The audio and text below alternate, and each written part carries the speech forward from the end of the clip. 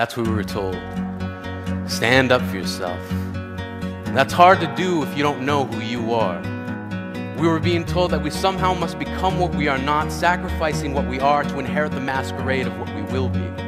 See, my dreams got called names too silly, foolish, impossible. But I kept dreaming.